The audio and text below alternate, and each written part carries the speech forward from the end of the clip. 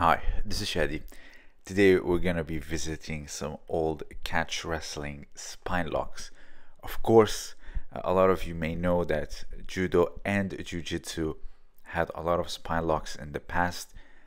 Up until the year 1925, you could do them in judo, but of course, due to safety and the explosive nature of judo, they had to go and they can be very dangerous. It's not something I oppose, of course, because it can just simply happen in an instance.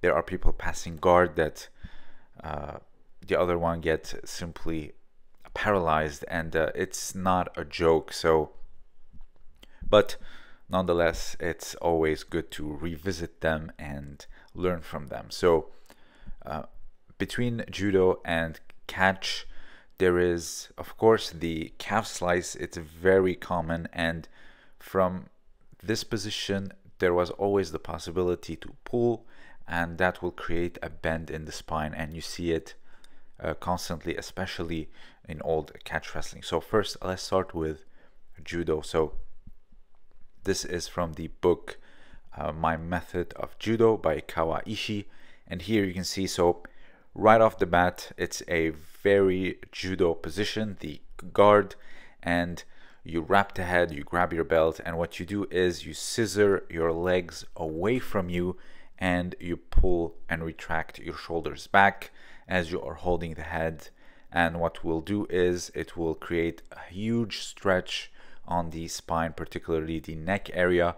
And of course, you get the tap, but obviously this can be very dangerous and uh, it can cause serious injuries. The next one is Tomoe Hishigi.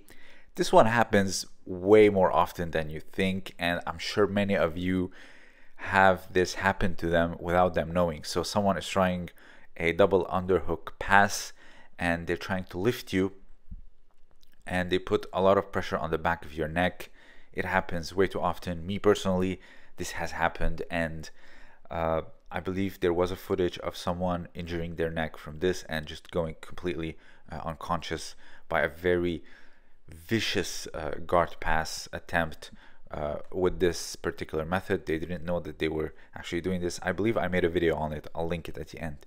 And uh, here you see it from sideways, how the pressure can be put on you. So you have um, the back of the shoulders and the back of the neck on the ground and someone is putting their weight right on top causing a huge curve in the spine and a lot of pressure on the back of the neck. And again these are very judo positions so you would expect that the spine locks can come from these positions.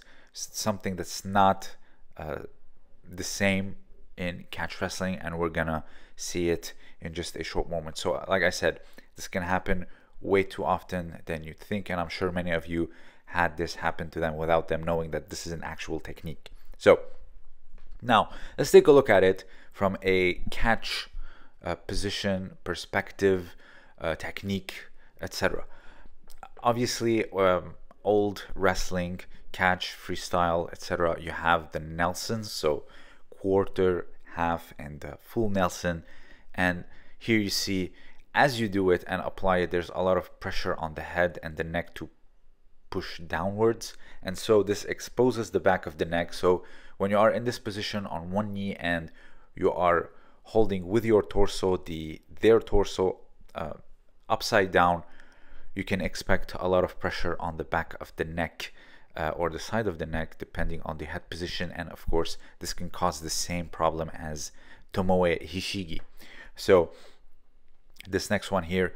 So notice how catch have a lot of uh, sophistication regarding their spine lock uh, positions. So the way to get to these is obviously not easy and uh, it's very sophisticated, but at the same time it's very efficacious. So um, this is something that's not done in judo for very good reasons, but it doesn't hurt to look at it and learn. So here you see from the back take, uh, you can see you have the arm pinned down and you have the thigh gripped. So he can easily maintain his grips and pull backwards. And this what will do is actually cause a bend in the spine. And of course this can be very uh, serious, and we're gonna realize this because um, in judo they actually saw this as a problem and they realized that bending i'm sorry stretching the leg in this particular strangle the okuri eri jime especially when you're on your back if you are performing it uh, what you are doing is you are pushing the leg on that's on the waist or the ribs you are pushing it and you are pulling or sliding away the collar and stretching the leg that can cause a bend in the spine. So they kept the submission luckily but they actually uh, banned the stretching of the leg that you are hooking. So just hold the pants on the knee level. So obviously we cannot talk about catch and spine locks without of course mentioning the twister. Here you see uh, Castello performing it. Um, you are hooking the far leg and you are doing this uh, sorry, uh, forgive me, uh, my na grip naming is not very good. So uh, here you see the S grip, if I'm not mistaken, and he pulls on the head. So notice how the waist is facing to the waist is facing towards you, and then he pulls the head towards him. So this will create a huge torsion on the spine, and of course, uh, it's a very serious and very efficient submission. Now let's go to something more sadistic. Personally, I don't see doing anyone doing this from any position or any uh, type of sparring unless they flatten themselves out trying to you know prevent the reversal here you see same thing all you have to do is just grab the back of the head the chin and start twisting. Of course this is banned. I'm, I'm not sure about the current state of catch today but this can obviously lead to a lot of injuries and of course death. So here you see they are not as refined as the stuff that we saw before from both judo and catch as catch can, but nonetheless they're very efficient. This one, all you have to do is just sit on them, pull their shoulders, and of course break the spine. It's called Sei Hishigi or back crusher. This one, same thing, but doing sparring, I don't see how anyone can actually get into this position.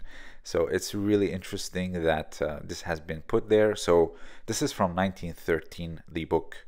Uh, you can find it on Amazon, and uh, I'll try to leave uh, as much as reference as possible in the description. So um, as you can see, uh, there are very serious submissions, and in judo at least, they're banned. And personally, I think it's for a good reason.